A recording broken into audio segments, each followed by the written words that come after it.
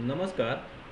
तो आज हम देखेंगे lithium bromide absorption system refrigeration system कैसे काम करता है। लेकिन इसको जानने से पहले मेरी एक रिक्वेस्ट है कि वेपर एब्सॉर्प्शन सिस्टम के रिलेटेड ऑलरेडी मैंने एक वीडियो अपलोड कर दिया है।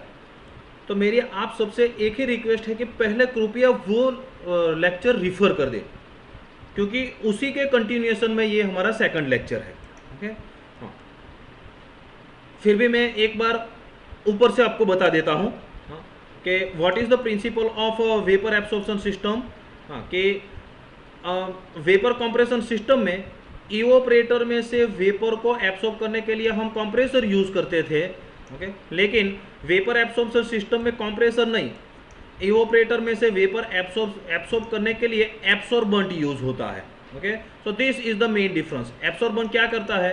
कि जो रेफ्रिजरेंट की वेपर है उसको एब्सॉर्ब कर लेता है। हाँ एब्सॉर्ब एब्सॉर्ब कर दिया तो यहाँ पर पार्शियल वैक्यूम क्रिएट हो जाएगा ओके तो यहाँ जो लिक्विड है उसको इवोप्रेशन का बॉइलिंग पॉइंट कम हो जाएगा so so that it can easily absorb heat from the cooling space okay so this this is the main concept behind vapour absorption system तो हमने सिंपल वेपर एब्सॉर्प्शन सिस्टम भी देखा था जिसमें कुछ ज़्यादा नहीं था इतना पोर्शन ओके इतना पोर्शन तो वेपर कंप्रेशन सिस्टम की तरह से सेम ही है हाँ कि रेफ्रिजरेंट कंडेंस कंडेंसर से कंडेंस होने के बाद रिसीवर से पास होकर थ्रोटल वाल से पास होता है और वहाँ पर इवोपरेटर में जाता है। चलो, इतना तो हमें ऑलरेडी पता था, वेपर कंप्रेशन सिस्टम में भी पता था।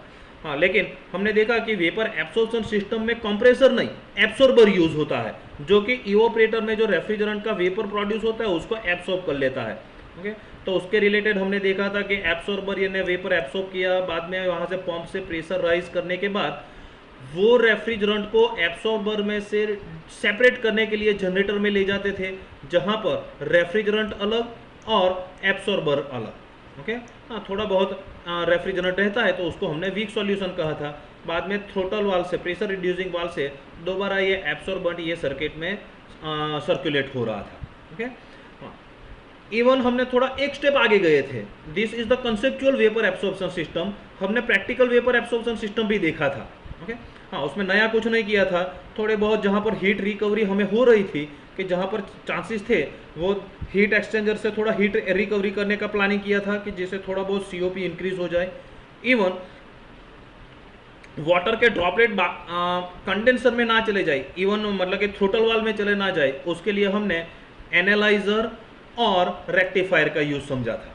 ओके चलो तो इवन हमने एक स्टेप आगे भी गए थे related to domestic Electrolux refrigerator कि जिसमें और ज़्यादा कूलिंग इफ़ेक्ट प्रोड्यूस करने के लिए partial pressure of Dalton's law of partial pressure हमने यूज़ किया था। हाँ उसमें क्या किया था कि कंडेंसर से रेफ्रिजरेंट आता है तो वहाँ से सीधा एब्सॉर्ब हीट एब्सॉर्प्शन करने के रिलेटेड हम बजाय हमने क्या किया था कि वहाँ पर हाइड्रोजन सप्लाई कर दिया था। तो हाइड्रोजन सप्लाई किया तो क्या हो गया कि एमोनिया का जो पार्शियल प्रेशर है, वो और भी कम हो जाएगा। Even if total pressure remain same भले ही टोटल प्रेशर सेम रहा था, लेकिन हाइड्रोजन सप्लाई करने से एमोनिया का पार्शियल प्रेशर कम हो गया। और हमें पता है रेफ्रिजरेंट का पार्शियल प्रेशर कम होता है तो उसका बॉइलिंग पॉइंट और भी कम हो जाता है। बॉइलिंग पॉइंट कम हो जाता है तो हीट एब्सॉर्प्शन मतलब कि कूलिंग इफ़ेक्ट हमें और भी बेटर मिलता है। तो वो प्रिंसिपल हमने इलेक्ट्रोलक्स में यूज़ किया था। हाँ कि जहाँ पर यह हाइड्रोजन एमोनिया यहाँ पर आ गया और यहाँ एब्सोर्बर एब्सोर्बर क्या करता है? एमोनिया को एब्सॉर्ब कर लेता है और हाइड्रोजन यहाँ से सेपरेट होकर यहाँ पर सर्कुलेट हो रहा था। ओके हाँ उसके बाद की प्रोसेस थी कि एब्सॉर्बर ने एमोनिया एब्सॉर्ब कर लिया, उसके बाद एमोनिया और एब्सॉर्बर को सेपरेट करने के लिए जनरेटर में ले गए। जनरेटर में एमोनिया अलग और एब्सॉर्बर अलग। ओके हाँ जिसको हम वीक सॉल्यूशन कहते हैं, क्योंकि इसमें भी थोड़ा बहुत एमोनिया रेफ्रिजरेंट होगा। ओके तो ये सर्किट था एब्सॉर्बर और रेफ्रिजरेंट का। ओके हाँ और बाद में ये रेफ्रिजरेंट रेक्टिफायर से होकर कंडेंसर से पूरे सर्किट में सर्कुलेट हो रहा था। ओके तो हमने देखा था कि हाइड्रोजन इतने में ही सर्कुलेट होता रहता है domestic refri sorry Electrolux refrigerator में। एब्सॉर्बर इतने सर्किट में सर्कुलेट होता रहता है। Okay? So this is the circuit, uh, circuit uh, uh, okay? और एमोनिया पूरे सर्किट में. Okay okay? यहाँ से लेकर कंडेंसर से होकर इवोपरेटर से होकर हीट एक्सचेंजर से होकर जनरेटर तक. Okay so this is the circuit of refrigerator refrigerant sorry okay चलो तो इतना हमने डिटेल में लास्ट लेक्चर में देखा था. Okay okay? चलो तो आज एक और refrigeration vapour absorption refrigeration system पढ़ते हैं। That is called as lithium bromide absorption refrigeration system okay हाँ सेम प्रिंसिपल यूज़ होता है हाँ लेकिन दूसरे वेपर एब्सॉर्प्शन रेफ्रिजरेशन और lithium bromide vapour absorption refrigeration में क्या डिफरेंस है? देखो, अभी तक हमने इलेक्ट्रोलक्स वेपर एब्सॉर्प्शन सिस्टम देखा, हमारा simple vapour ammon water ammonia refrigeration vapour absorption system देखा। उसमें क्या क्या था कि जो एब्सोर्बेंट था, कि जो रेफ्रिजरेंट को एब्सॉर्ब कर रहा था, वो कौन सा सब्सटेंस था? वाटर था।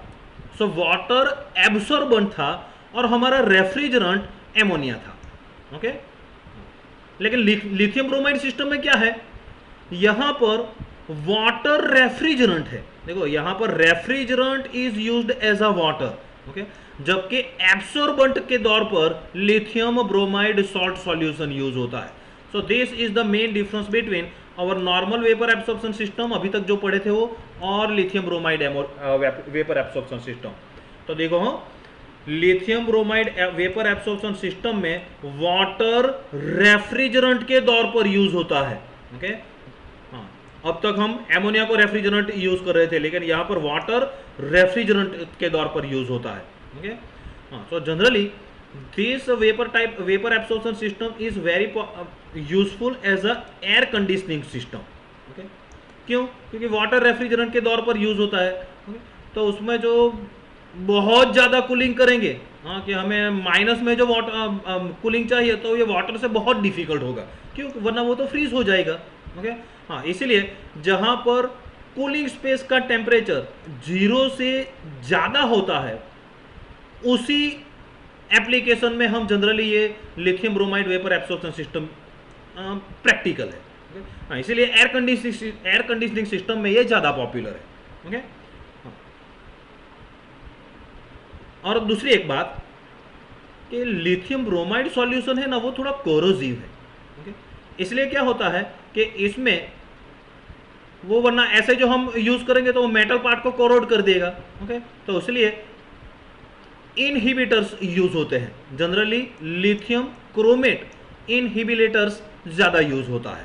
ओके हाँ क्यों? क्योंकि लिथियम ब्रोमाइड वो कोरोजिव ज़्यादा है, वरना वो क्या करेगा? मेटल के पार्ट को कोरोजिव कर देगा।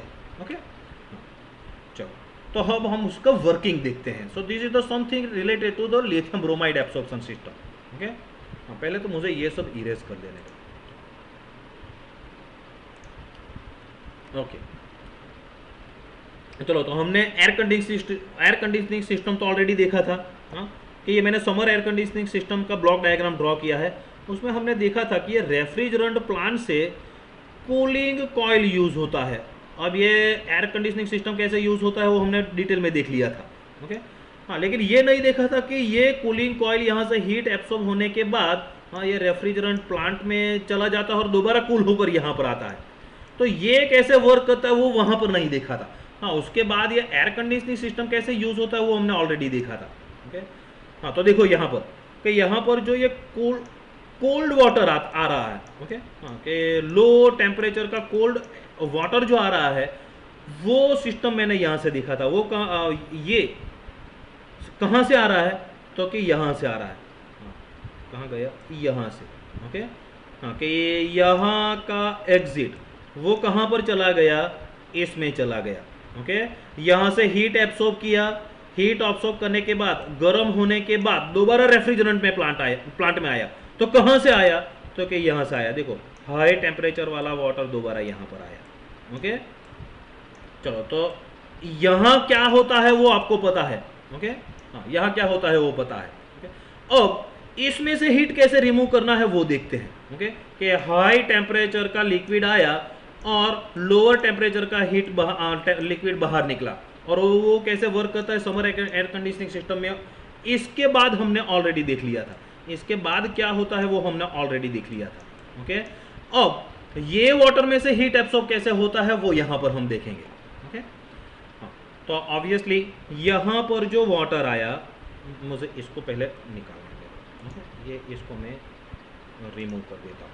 Okay so here high temperature liquid enters from here so to absorb heat from this high temperature uh, liquid here cold water spray is carried out यहाँ पर क्या करते हैं कि बहुत ठंडा पानी यहाँ पर स्प्रे करते हैं ओके okay? हाँ स्प्रे करने से क्या होता है कि यहाँ से हीट एब्सॉर्ब हुआ तो थोड़े बहुत वाटर के ड्रॉपलेट वेपर में कन्वर्ट हो जाएँगे ओके okay?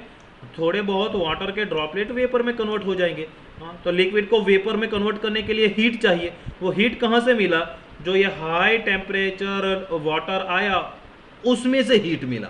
Okay okay? तो उसमें से हीट लेकर ये थोड़े बहुत वाटर के ड्रॉपलेट वेपर में कन्वर्ट हो गए। ओके हाँ मोस्ट ऑफ़ वाटर ड्रॉपलेट इसमें कलेक्ट होते रहेंगे। ये केस में कलेक्ट होते रहेंगे। Okay okay? हाँ तो वाटर तो इसमें कलेक्ट होता रहेगा। हाँ तो वो जो कलेक्ट हुआ वो वाटर उसको क्या करेंगे? दोबारा रिसर्कुलेट करेंगे। हाँ ये पंप से दोबारा रिसर्कुलेट करते जाएँगे जब तक तो ये वेपर में कन्वर्ट नहीं हो जाता ओके चलो तो ये ये वाटर का सर्किट कंप्लीट में आ, पता चल गया? हाँ दोबारा बता देता हूँ। ठंडा पानी अब कैसे ठंडा हुआ बाद में देखें। ठंडा पानी यहाँ से आया वो ठंडे पानी से थोड़ा बहुत हीट तो ये लिक्विड का जो हॉट लिक्विड आया ये आ, ट्यूब के अंदर से उसमें से लिक्विड ने ही थोड़ा बहुत तो हीट एब्सॉर्ब कर दिया। बाद में क्या किया कि ये जो बाहर जो पानी है, उसको हमने दोबारा रिसर्कुलेट किया और यहाँ से उसको स्प्रे किया। ओके हाँ स्प्रे करने से क्या हुआ कि थोड़े बहुत वाटर के ड्रॉपलेट इसमें से हीट एब्सॉर्ब करके वेपर में कन्वर्ट हो गए। ओके हाँ थोड़े बहुत वाटर के ड्रॉपलेट ये लो ये वाटर ट्यूब के अंदर से हीट एब्सॉर्ब करके वेपर में कन्वर्ट हो गए। ओके हाँ most of water droplet droplet में ही रहेंगे और दोबारा ये ट्रे में कलेक्ट हो जाएँगे। कलेक्ट होगा तो हम उसको दोबारा रिसर्कुलेट कर देंगे। ओके चलो तो एटलीस्ट इतना सर्किट तो आपको पता चल गया। ओके आ, कि इतना रेफ्रिजरेंट का इवोपरेटर में सर्किट उतना तो कंप्लीट हो गया। अब ये वेपर का क्या होता है वो देखते हैं। ओके कि यहाँ से जो वाटर के ड्रॉपलेट जो इवोपरेट होकर वेपर में कन्वर्ट हो गए तो अब वेपर कॉम्प्रेशन सिस्टम होता तो हम उसको कॉम्प्रेसर में सप्लाई कर देते ओके लेकिन यहाँ पर तो कॉम्प्रेसर यूज़ नहीं होता है। कंप्रेसर के बदले क्या यूज़ होता है? एब्सॉर्बर यूज़ होता है ओके तो हम क्या करेंगे? यहाँ से एब्सॉर्बर का स्प्रे करेंगे ओके यहाँ से एब्सॉर्बर का स्प्रे किया तो ये एब्सॉर्बर क्या करता है? ये वाटर के वेपर को एब्सॉर्ब कर लेता है। तो ये जितना भी वाटर का वेपर आया, वो एब्सॉर्ब हो गया। हाँ तो यहाँ पर एब्सॉर्बर कौन सा कौन सा वाला एब्सॉर्बर यूज़ होता है? हाँ सो रिमेंबर हाँ here absorbent is lithium bromide देखो हाँ हमारा जो ये वाटर है, वो तो रेफ्रिजरेंट है। हाँ तो यहाँ पर जो एब्सॉर्बेंट आया that is lithium bromide solution okay हाँ तो वो क्या है? लिथियम ब्रोमाइड का सॉल्यूशन है। ओके हाँ तो ये लिथियम ब्रोमाइड का सॉल्यूशन आया तो उसने क्या किया? वाटर के वेपर को एब्सॉर्ब कर लिया और यहाँ पर कलेक्ट हो गया। ओके तो अब ये कौन सा वाला सॉल्यूशन हो गया? हमारा रेफ्रिजरेंट पर प्लस एब्सॉर्बेंट वाला सॉल्यूशन हो गया। ओके हाँ मतलब कि लिथियम ब्रोमाइड प्लस वाटर का सॉल्यूशन हो गया। ओके हाँ तो उसे ये सॉल्यूशन हाँ तो उसे हम कहेंगे वीक सॉल्यूशन हाँ क्यों वीक सॉल्यूशन क्योंकि इसमें लिथियम ब्रोमाइड कम और वाटर वाटर पार्टिकल्स भी ज़्यादा है। वैसे ज़्यादा तो नहीं कहेंगे लेकिन कंपेरेटिवली वाटर के पार्टिकल ज़्यादा है। तो उसको हम वीक सॉल्यूशन कहेंगे। ओके चलो तो अब ये वीक सॉल्यूशन में से अब वाटर मतलब कि रेफ्रिजरेंट को सेपरेट करने के लिए कहाँ ले जाना पड़ेगा? ऑब्वियसली हाँ, जनरेटर में ले जाना पड़ेगा। हाँ तो जनरेटर में जाने से पहले उसका प्रेशर बढ़ाएँगे। क्योंकि प्रेशर और टेम्परेचर बढ़ेगा तो हमें पता है कि एब्सॉर्बर का एब्सॉर्बिंग कैपेसिटी कम हो जाएगा और जो वेपर उसने एब्सॉर्ब करके रखा है वो इजीली सेपरेट आउट हो जाएगा। तो उसके लिए हम क्या करेंगे? सबसे पहले तो प्रेशर बढ़ाएँगे। प्रेशर बढ़ाने के लिए पंप यूज़ करेंगे। हाँ, क्योंकि लिक्विड है इसलिए पंप यूज़ हुआ है। तो यहाँ पर हायर प्रेशर का वीक सॉल्यूशन मतलब कि lithium bromide plus water means refrigerant का सॉल्यूशन हम जनरेटर वाले कैबिनेट में ट्रांसफ़र कर देंगे जनरेटर में ट्रांसफ़र कर देंगे ओके हाँ तो जनरेटर में हमें क्या करना पड़ेगा? इसको हीट करना पड़ेगा। अरे हीट करेंगे तो ही यहाँ पर देखो हायर प्रेशर है और हायर टेम्परेचर करेंगे तो ही तो उसका एब्सॉर्बिंग कैपेसिटी कम होगा। एब्सॉर्बिंग कैपेसिटी कम होगा तो ही यहाँ पर रेफ्रिजरेंट जो कि वेपर है वाटर है, वो सेपरेट आउट हो जाएगा तो इसमें टेम्परेचर बढ़ाने के लिए हम क्या करेंगे? हीटिंग कॉयल यूज़ करेंगे। ओके? हाँ वहाँ पर हमने बर्नर यूज़ किया था ना? हाँ पहले वाले केस में। उसके बदले यहाँ पर हम क्या यूज़ करेंगे? Heating coil okay? देखो, प्रेशर तो ऑलरेडी बढ़ा ये पंप ने बढ़ा दिया था। अब ये हीटिंग कॉयल ने क्या किया? टेम्परेचर भी बढ़ा दिया। इसलिए क्या हुआ कि ये लिथियम ब्रोमाइड प्लस वाटर का जो सॉल्यूशन है तो यहाँ पर लिथियम ब्रोमाइड का एब्जॉर्बिंग कैपेसिटी कम हो जाएगा। ये हायर टेम्परेचर प्रेशर के चलते। तो अब ये कहेगा पानी को कि चलो तू निकल यहाँ से ओके हाँ तो यहाँ से ये वाटर रिलीव हो जाएगा ओके जो कि रेफ्रिजरेंट है, वो वाटर इवोपरेट हो जाएगा यहाँ पर, वो सेपरेट आउट हो जाएगा ओके हाँ मतलब कि ये हीट देने की वजह से वाटर इवोपरेट हो जाएगा ओके ये वाटर का क्या होता है वो बाद में देखेंगे, लेकिन पहले ये लिथियम ब्रोमाइड सॉल्यूशन का क्या होता है वो देख लेते हैं ओके तो अब क्या हुआ? ये लिथियम ब्रोमाइड सॉल्यूशन से वेपर तो सेपरेट आउट हो गया। रेफ्रिजरेंट तो सेपरेट आउट हो हो गया। तो यहाँ पर लिथियम ब्रोमाइड सॉल्यूशन ओके जिसे हम स्ट्रॉन्ग सॉल्यूशन कहेंगे। क्यों? क्योंकि इसमें लिथियम ब्रोमाइड प्योर नहीं है। हो सकता है कि थोड़े बहुत वाटर पार्टिकल बाकी रह गए। तो इसे हम कहेंगे स्ट्रॉन्ग सॉल्यूशन तो ये स्ट्रॉन्ग सॉल्यूशन को क्या करेंगे? अब क्या करेंगे? दोबारा यहाँ पर सर्कुलेट कर देंगे और दोबारा स्प्रे करेंगे स्ट्रॉन्ग सॉल्यूशन को। ओके? चलो तो ये एब्सोर्बर का सर्किट कंप्लीट हो गया। एब्सोर्बर पता चल गया। हाँ दोबारा हाँ एब्सोर्बर का सर्किट हाँ कि क्या करता है यहाँ पर? कि एब्सोर्बर स्ट्रॉन्ग सॉल्यूशन मतलब कि जिसमें सिर्फ़ लिथियम ब्रोमाइड है, या फिर जिसमें कहेंगे कि वाटर के कंटेंट बहुत कम है, वो वाला स्ट्रॉन्ग लिथियम ब्रोमाइड का सॉल्यूशन यहाँ पर स्प्रे करते हैं। उसकी वजह से जो यहाँ पर वेपर वाटर का जो वेपर जनरेट हुआ था, वो एब्सॉर्ब हो गया। तो यहाँ पर water vapour plus lithium bromide solution जिसको हम कहेंगे वीक सॉल्यूशन वो वीक सॉल्यूशन का प्रेशर ये पंप से बढ़ाने के बाद उसको हम हीट एक्सचेंजर में मतलब कि जनरेटर में ले जाएँगे। जनरेटर में क्या होगा कि यह हीटिंग कॉइल उसको हीट करेगा मतलब कि टेम्परेचर बढ़ाएगा। हायर प्रेशर हायर टेम्परेचर की वजह से उसका एब्सॉर्बिंग कैपेसिटी कम हो जाएगा। इसलिए वेपर यहाँ पर जो रेफ्रिजरेंट था, जो कि हमारा वाटर है, वो वेपर के फॉर्मेट में ऊपर चला जाएगा ओके और जो स्ट्रॉन्ग सॉल्यूशन मतलब कि सिर्फ़ लिथियम ब्रोमाइड जो रहा जिसमें वेपर के कंटेंट बहुत कम है वाटर के कंटेंट बहुत कम है, उसको हमने दोबारा यहाँ पर सर्कुलेट कर दिया ओके तो ये हो गया हमारा लिथियम ब्रोमाइड का सर्किट तो लिथियम ब्रोमाइड इतने पोर्शन में ही सर्कुलेट होता रहता है। ओके हाँ। अब देखो, ये lithium bromide solution just evaporator में से आ रहा। देखो इवोपरेटर से आ रहा। ओके मतलब कि ये ठंडा है। और उसको गर्म की ओर जाना है, जिसको हीट करना है। और ये देखो, गर्म होकर आ रहा है। और उसको कूलिंग इफ़ेक्ट कूलिंग साइड पर जाना है, यहाँ पर इवोपरेटर में जाना है। तो इसका टेम्परेचर इसका टेम्परेचर जितना हो सके उतना कम होना चाहिए। हाँ क्यों? क्योंकि इसको इवोपरेटर में जाना है तो ठंडा होगा तो अच्छा रहेगा ओके और इसका टेम्परेचर हाँ ये वीक सॉल्यूशन का टेम्परेचर जितना हो सके उतना ज़्यादा होना चाहिए। क्यों? क्योंकि ज़्यादा होगा तो यहाँ पर हीटिंग कॉयल का कैपेसिटी कम कम रखेंगे तो भी चलेगा ओके तो क्या करेंगे कि यहाँ से ये टेम्परेचर को कम करने के लिए और इसका टेम्परेचर बढ़ाने के लिए हम क्या करेंगे दोनों को एक हीट एक्सचेंजर से पास कर देंगे ओके ताकि ये गर्मा गर्म जो ए, ये लिथियम ब्रोमाइड सॉल्यूशन आया वो ये वीक सॉल्यूशन को हीट ट्रांसफ़र करेगा। तो जितना टेम्परेचर कम हुआ उतना इवोपरेटर में फ़ायदा।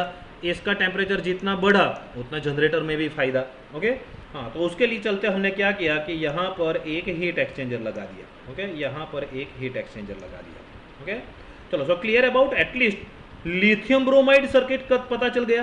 हाँ ये लिथियम ब्रोमाइड सर्किट तो पता चल गया ना।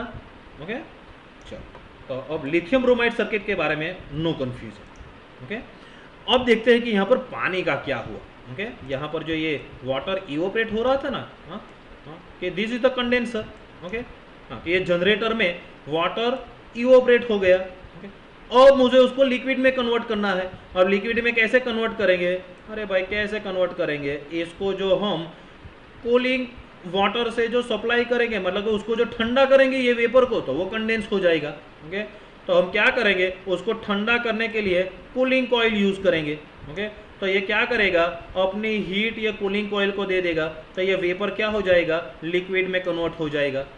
तो ये वाटर का वेपर जो लिक्विड में कन्वर्ट हुआ, उसको एक ट्रे में करेक्ट करेंगे। देखो जनरेटर में ट्रांसफ़र नहीं करेंगे हाँ। एक ट्रे में कलेक्ट कर लेंगे। देखो, ये ट्रे में सिर्फ़ वाटर है ओके जो कि जस्ट अभी कंडेंस हुआ है ओके बस तो अब हमारा लिक्विड हमारा मतलब कि रेफ्रिजरेंट हमारा कंडेंस हो गया ओके बस तो अब उसको हम इवोपरेटर में ट्रांसफ़र करेंगे ओके तो देखो, ये वाटर को मैंने हाँ इवोपरेटर में जाने से पहले हम थ्रोटल वाल से पास करेंगे ओके हाँ तो इसको हम प्रेशर रिड्यूसिंग वाल कहेंगे ओके हाँ तो क्या हुआ कि यहाँ पर प्रेशर ड्रॉप होने की वजह से, देखो ये वाटर का प्रेशर बहुत ज़्यादा था। क्यों? क्योंकि यहाँ से पंप से हमने प्रेशर ऑलरेडी राइज किया था हाँ? पंप से हमने प्रेशर राइज किया था। इसीलिए ये चैम्बर में प्रेशर ज़्यादा है ओके हाँ तो देखो हाँ ये हायर प्रेशर वाला लीक वेप वाटर यहाँ पर आ रहा है ओके उसका प्रेशर प्रेशर जो रिड्यूस हो जाएगा तो थ्रोटलिंग इफ़ेक्ट से क्या होगा? ये वाटर का टेम्परेचर भी ड्रॉप हो जाएगा। ओके हाँ तो ये कोल्ड वाटर अब हम दोबारा यहाँ पर सर, सर्कुलेट करेंगे। ओके तो ये देखो ये ठंडा पानी आया। तो ठंडा पानी आया तो यहाँ पर जो हमारा एयर कंडीशनिंग सिस्टम का जो गर्म पानी आया था उसमें से हीट एब्सॉर्ब करेगा। हाँ मतलब कि हमारे कूलिंग स्पेस से हीट एब्सॉर्ब कर रहा है ऐसा कह सकते हैं। क्यों? क्योंकि ये कूलिंग स्पेस ही है। ओके हाँ कि ये cooling space air conditioning system के लिए यूज़ हुआ है that is secondary thing okay हाँ लेकिन यहाँ से हीट एब्सॉर्ब करेगा। ओके हाँ। तो उतना तो एब्सॉर्ब हुआ ही। बाद में हम क्या करेंगे? ये पंप से प्रेशर राइज करने के बाद स्प्रे भी करेंगे ओके तो पंप से भी थोड़ा बहुत थ्रोटलिंग इफ़ेक्ट मिल जाएगा। स्प्रे से हमारा इवोपरेटिव कूलिंग भी मिल जाएगा ओके चलो तो ये वाटर सर्किट भी पता चल गया हाँ? चलो तो दोबारा बता देता हूँ about the water circuit okay तो देखो हाँ? रेफ्रिजरेंट वाटर की बात कर रहा हूँ। तो रेफ्रिजरेंट वाटर आया, इसमें आ गया। ओके तो यहाँ से ये इसने हीट एब्सॉर्ब किया, जिसने थोड़ा बहुत वाटर को रीसर्कुलेट किया यहाँ पर। ये वाटर रेफ्रिजरेंट वाटर को रीसर्कुलेट किया, जो कि यहाँ से स्प्रे हुआ। स्प्रे होने के बाद जो लिक्विड के ड्रॉपलेट रह गए, वो तो रीसर्कुलेट ही होते रहेंगे। लेकिन जो ड्रॉपलेट वेपर में कन्वर्ट हो गए, वो क्या होगा? ये एब्सॉर्बर के साथ मिक्स होकर दोबारा यहाँ पर pump through heat exchanger through generator में चला जाएगा ओके जनरेटर में हीट ट्रांसफ़र कर रहे हैं। हीट ट्रांसफ़र होने की वजह से यहाँ पर वाटर का वेपर में कन्वर्जन हो जाएगा, क्योंकि ये तो रेफ्रिजरेंट है तो वो वेपर में कन्वर्ट हो गया। वेपर में कन्वर्ट हो गया तो ये कंडेंसर में जो कूलिंग कॉइल आ रही है, वो वेपर में से हीट एब्सॉर्ब कर रहा है। हीट एब्सॉर्ब कर रहा है, वेपर में से हीट एब्सॉर्ब हो गई तो वेपर का क्या होगा? हाँ it will convert into the liquid तो ये रेफ्रिजरेंट जो वेपर है वो लिक्विड में कन्वर्ट हो गया ओके तो ये लिक्विड में कन्वर्ट होने के बाद, देखो यहाँ पर प्रेशर बहुत ज़्यादा है। ये प्रेशर किसने बढ़ाया था? पंप ने बढ़ाया था। तो ये हायर प्रेशर का लिक्विड प्रेशर रिड्यूसिंग वाल्व से पास होने के बाद दोबारा यहाँ पर रिसर्कुलेट होगा ओके तो ये थ्रोटलिंग इफ़ेक्ट की वजह से यहाँ पर टेम्परेचर उसका कम हो जाएगा ओके तो ये कोल्ड वाटर हम कूलिंग पर्पज के लिए यूज़ कर सकते हैं ओके चलो so clear about water circuit मतलब कि रेफ्रिजरेंट सर्किट का भी पता चल गया हाँ कि यहाँ पर रिसर्कुलेशन वाटर का तो रिसर्कुलेशन होता रहेगा। जितना वेपर हुआ, वो absorber through pump through heat exchanger through generator through vapour होने के बाद कंडेंसर से थ्रोटल वाल से दोबारा यहाँ पर। ओके चलो, सब पता चल गया? हाँ? तो देखो, मैं दोबारा यहाँ पर refrigerant as a water circuit मैंने येलो कलर के से बताया है ओके लिथियम ब्रोमाइड का सर्किट भी बता देता हूँ ओके कि लिथियम ब्रोमाइड यहाँ पर स्प्रे हुआ ओके यहाँ पर स्प्रे हुआ तो यहाँ से वाटर के जो वेपर है, उसको एब्सॉर्ब करने के बाद ये lithium bromide solution pump through heat exchanger through generator में ट्रांसफ़र हो रहा है। ओके जनरेटर में क्या हो रहा है? वेपर सेपरेट आउट हो गया वाटर का वेपर सेपरेट आउट हो गया और जो लिथियम ब्रोमाइड का स्ट्रॉन्ग सॉल्यूशन आया, उसको दोबारा हीट एक्सचेंजर थ्रू दोबारा ये इवोपरेटर कंटेनर ओके चलो तो ये रेड पोर्शन है that is the absorbent circuit okay तो ये हो गया एब्सॉर्बेंट सर्किट जो ये रेड कलर से बताया that is absorbent circuit okay और ये जो येलो कलर से बताया दैट इज़ येलो कलर से जो बताया that is refrigerant circuit okay हाँ that is refrigerant circuit okay चलो तो पता चल गया ना condenser through throttle valve through here okay चलो so is it okay is it complete हाँ? चलो बात एक ऑप्शनल सर्किट है.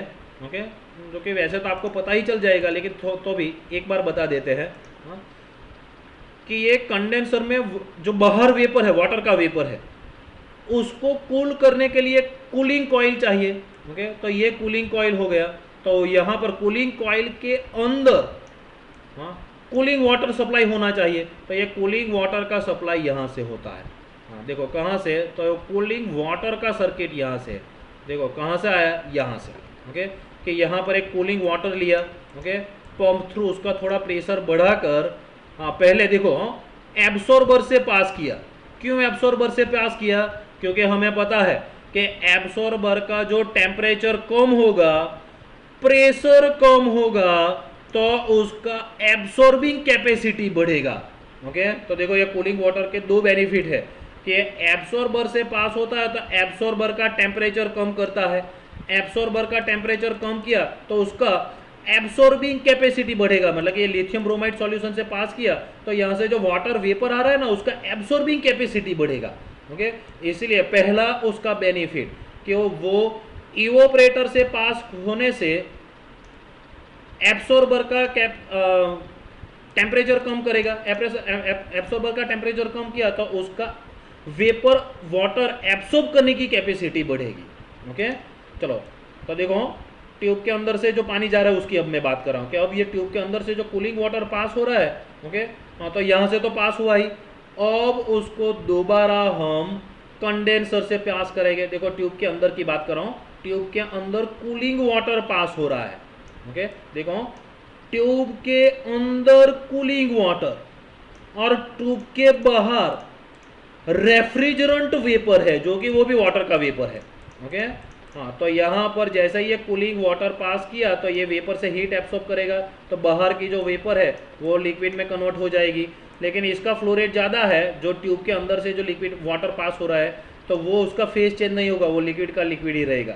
ओके हाँ तो यहाँ पर ये लिक्विड बाद में बाहर। ओके हाँ ये तो सिर्फ़ बाईपास के लिए, कि वो बाईपास करने के लिए कि कभी यहाँ से बाईपास करना है तो ऊपर से हम बाईपास कर सकते हैं। ओके तो this optional water circuit okay तो ये दोनों साइड पर काम कर करता है।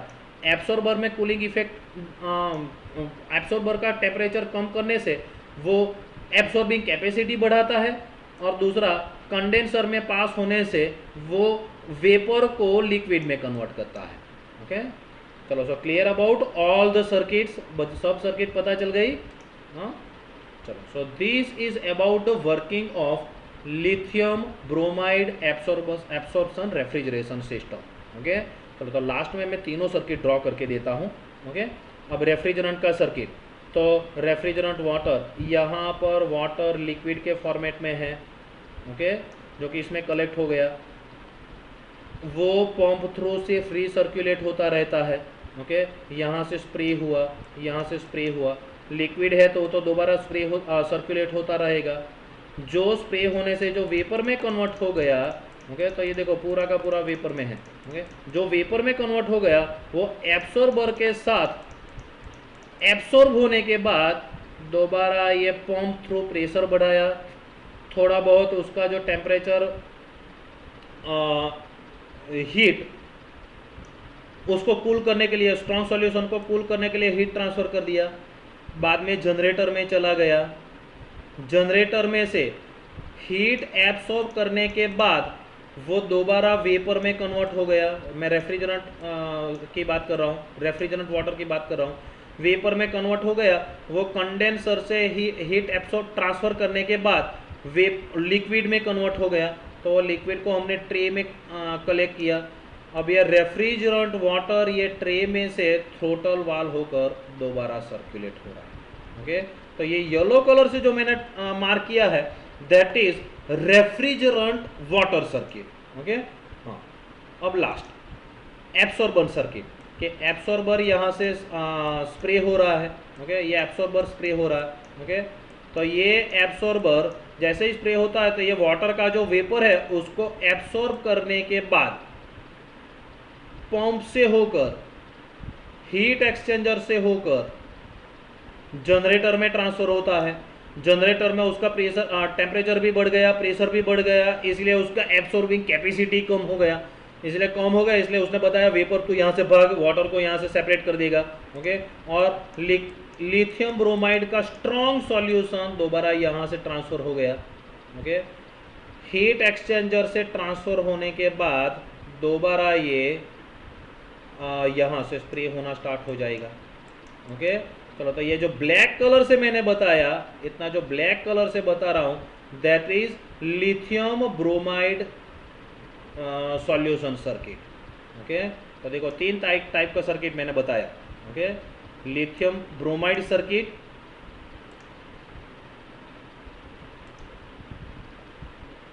water refrigerant circuit and cooling water circuit देखो ये कूलिंग वाटर रेफ्रिजरेंट वाला कूलिंग वाटर नहीं है, ये कूलिंग वाटर ही है। वो उसका फेस कहीं चेंज नहीं हो रहा है लिक्विड का लिक्विड ही रहता है ओके चलो so here I am stopping I hope that के पूरा आपको वर्किंग कैसे का होता है, वो पता चल गया। और जो कोई कन्फ्यूज़न है तो मुझे कमेंट सेक्शन में बता दो ओके चलो so thank you have a nice day